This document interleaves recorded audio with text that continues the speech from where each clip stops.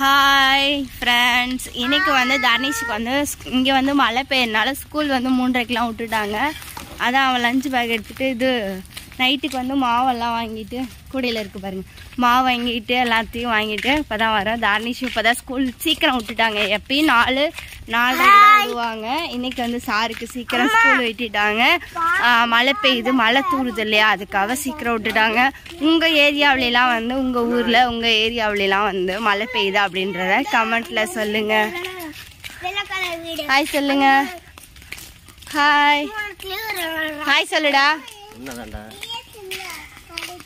Chocolate வாங்கி கொடுத்தா அது சாப்பிட்டுக்கிட்டு வரான்.